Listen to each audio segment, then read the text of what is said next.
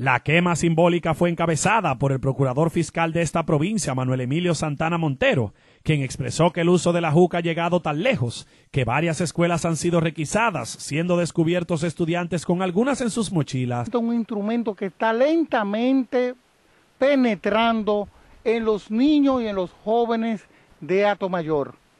Muchos padres no la conocen y como no la conocen no pueden combatirla yo quiero presentar aquí dos jucas parecidas a un bolígrafo, le llaman cigarro electrónico, tienen otros nombres, pero en fin es juca. El representante del Ministerio Público explicó que el combate a este flagelo no debe ser solo por parte de las autoridades. Porque hay muchos niños que le están usando, lo usan en los paris, lo usan en los pijama paris, en la fiesta que hacen, y todo esto con su llega a una sola cosa, conduce a una sola cosa, consumo de drogas. Se recuerda que la juca es un dispositivo que se emplea para fumar, especialmente tabaco de distintos sabores o plantas sin nicotina, y aunque se ha querido vender que la juca no tiene efectos nocivos, neumólogos señalan que la pipa de agua contiene más nicotina, alquitrán y metales pesados que los cigarrillos convencionales. Yo soy anti-juca.